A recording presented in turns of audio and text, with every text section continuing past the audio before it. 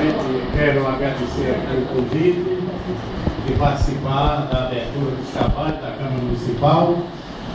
Dizer para vocês que me sinto muito honrado de fazer parte aqui, de estar junto aqui com todos vocês para a abertura desses trabalhos.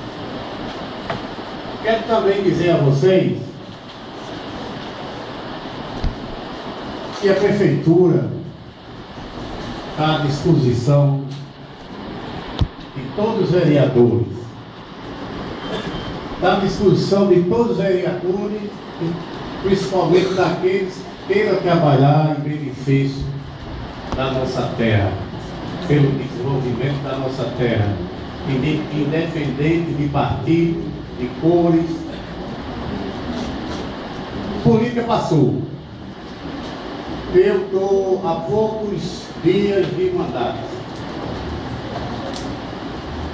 As dificuldades são imensas, que todos vocês conhecem, não preciso estar aqui chorando, choramingando. E a, a gente tem que enfrentar a realidade, tem que enfrentar as coisas, tem que levantar a cabeça.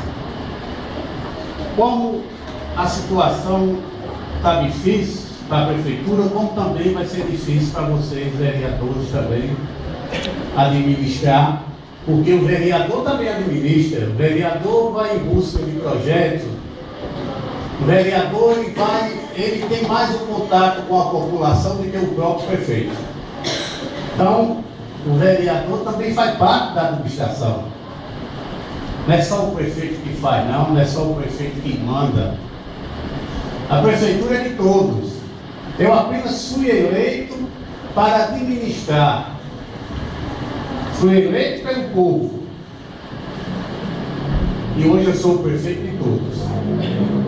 Quero aqui dizer a vocês, vereadores da oposição, meu amigo Vinícius, Alex, Marcelo, Alcide, nosso amigo é, é, Jailton, e Luiz Duca hoje que não é mais oposição, é um dos aliados da, da nossa bancada.